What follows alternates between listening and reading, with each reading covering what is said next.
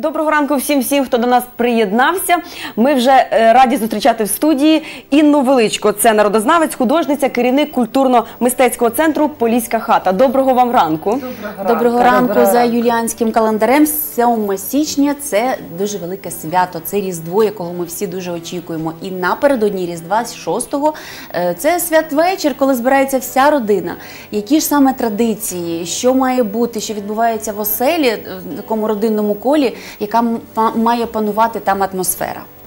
Ну, взагалі, така атмосфера має панувати не тільки напередодні Різдва, це має, мабуть, е, панувати весь рік, і до цього до цієї події треба готуватися цілий рік.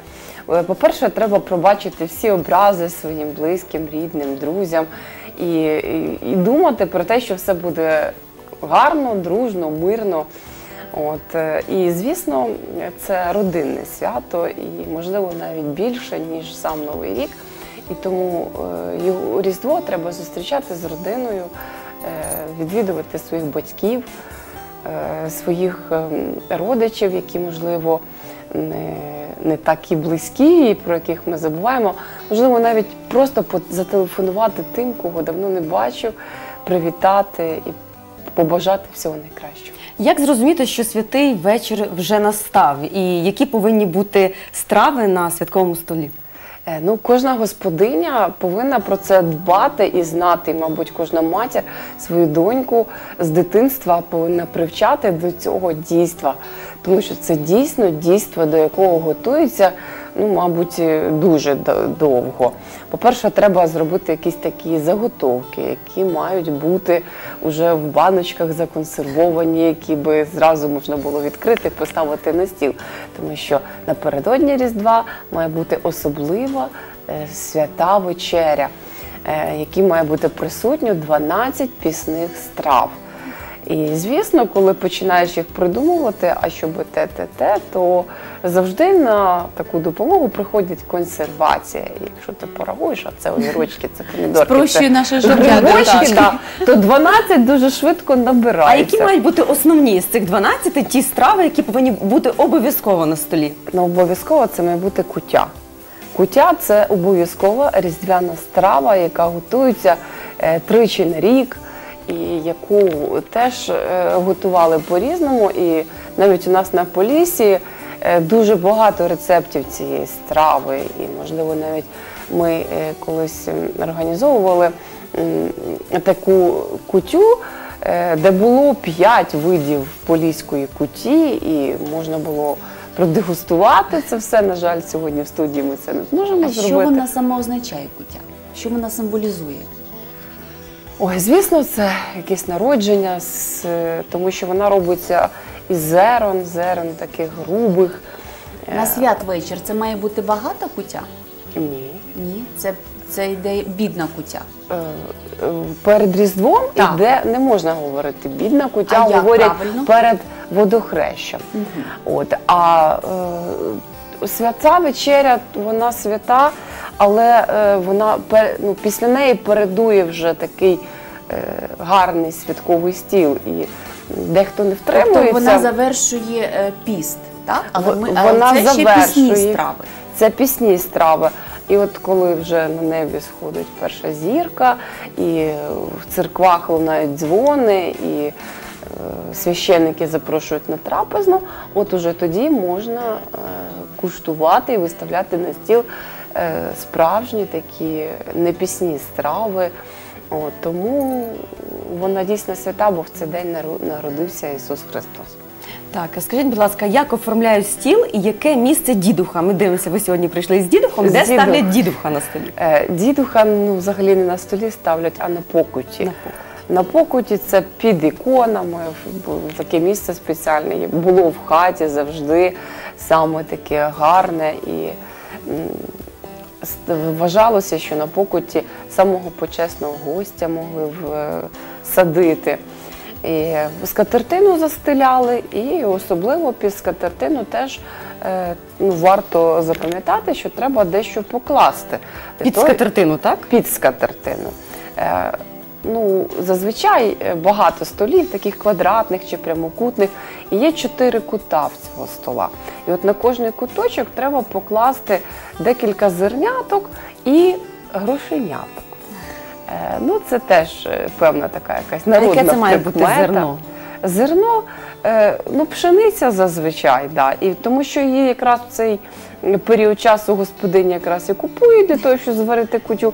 Тому варто залишити декілька жменьку зерняток не тільки для того, щоб засівати там, і, але й для того, щоб покласти на, на столі. Е, Це таке своєрідне, е, можливо, там з якогось язичського періоду, там для богів е, такі передачі, подаруночки. Але ми вважаємо, українці, що це на гарний рік, на гарний На врожай добробут. да, і на багатство, якщо там покласти копійки. Е, Так, е, давнім та унікальним звичаєм в Україні є ходіння з вертепом, колядування. От саме як зараз ці традиції е, дотримуються? Ви знаєте, дуже приємно, що зараз це все відроджується, що це не забувається, що наші діти е, знають не одну колядку, а дуже багато і старовинних, і гарних. І звісно, в цьому допомагає і освіта, і наші педагоги, і підручники, і книжки, і програми, і те, що ви сьогодні звертаєте на це увагу, це теж великий такий позитивний е, А коли можна вже співати колядки?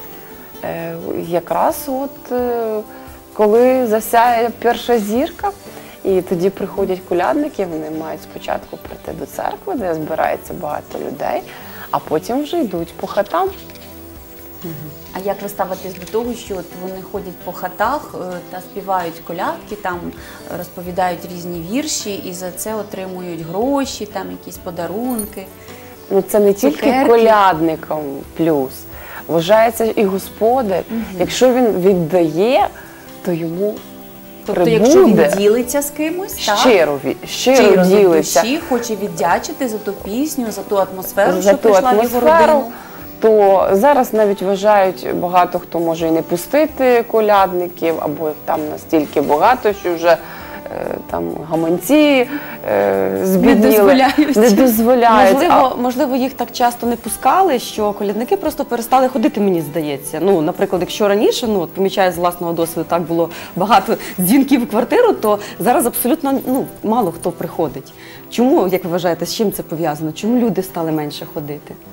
Ну, мабуть, з тим, що я, я не знаю, Більше, це, мабуть, більше, можливо, більше колядують, от просто по вулицям ходять люди, вже по більше не, не по родичах, е, квартирам. по родичах, по тим, хто тебе знає. Мабуть, мабуть, так. Але ви знаєте, якщо дійсно гарно підготовлений вертеп, якщо гарний Це костюм, видовищно, так. видовищно, то тільки вони зайдуть у двір. Кожна господиня, хто побачить їх з віконечка, обов'язково і до мене Покличе. зайдіть, і покличе, да. тому що це велике щастя, коли до вас прийдуть колядники і принесуть їм пісню, радість і гарні позитивні емоції. Так.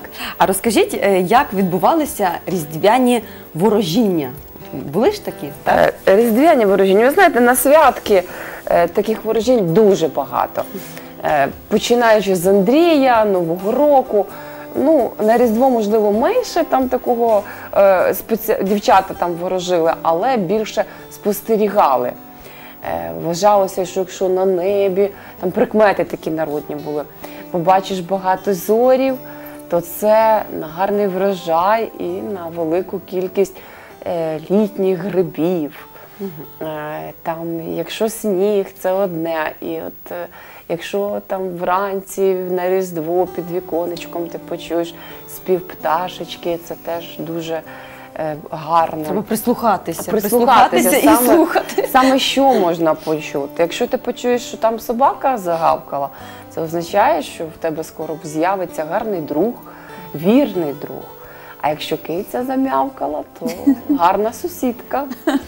Да, так. так всі ночі гавкали собаки. Я, я хочу, щоб вони гавкали в ніч шосте на сьоме. Так, і нас було багато друзів. І тому да, треба е, завжди вірити в те, що, що хочеш. отримати. Пані Інна, а от ви згадуєте своє дитинство. І які саме в вашій родині були традиції Різдва? Знаєте, я е, не можу порадуватися, що в мене там таке було дитинство, тому що На жаль, е, коли я навчалася, це все було заборонено. І Про це не можна е, було цим не говорити. можна було говорити, співати якісь колядки. І тому мої батьки були, на жаль, в цьому союзі. І таких от якихось традицій я не відчувала. Але коли я приїжджала до бабусі, яка жила в селі, і яка дійсно готувала ці всі Тут на Житомирщині. В Хмельниччині. На Хмельниччині жила моя бабуся з дідусем. І вони дійсно дотримувалися всього такого. І для мене це була якась така справжня казка, справжня е, така атмосфера е, родини. І я завжди мріяла потрапити саме на Новий рік е, і Різдво до своєї бабусі. Так, е, ви керівник е, культурно-мистецького центру Поліська хата. Це Черняхівський район, село Городське. Коростишівське. Коростишівський. Коростишівський район, я перепрошую. І от там, в цій хаті, дуже часто якраз відбувається оте відтворення традицій. Чи зараз також там щось відбувається? І чи ви Взимку. плануєте цього року на Різдво щось таке організовувати масове? Ми, ми не можемо організовувати масово, тому що це е, не літо, і ми не можемо прийняти е, велику кількість тих, хто хоче це побачити. Але ми завжди запрошуємо родини, сім'ї, групи, і ми це можемо організувати не тільки на Різдво, але й в інший день і показати ці традиції. І от зараз у нас новий проект цікавий, е, який ми хочемо теж реалізувати, але саме з місцевими жителями, сільськими. Тому що от ми думаємо, що в селах там це все збереглося, ці традиції. Е, На жаль, ні, Е, не можна констатувати, що там у кожній родині сільській це все панує. Е, Тому ми хочемо зібрати багатодітні сільські родини в нашій поліській хаті з села Городського і навчити їх робити кутю, ліпити вареники з різними начинками. І Як цікаво. так, і з мамами, які можливо є, можливо, дехто старший за мене, дехто молодший, згадати ті традиції, які прийшли саме в це село, і передати їм цим дітям, які прийдуть. І я сподіваюся, що у нас буде велика така компанія, дружня, і це буде не тільки з колядками і подарунками, але й з новими можливо відкриттями. І я сподіваюся, хочу, щоб діти ці запам'ятали назавжди цю зустріч. Дякуємо, дякуємо, що завітали до нас у студію, знайшли час для За цього. атмосферу.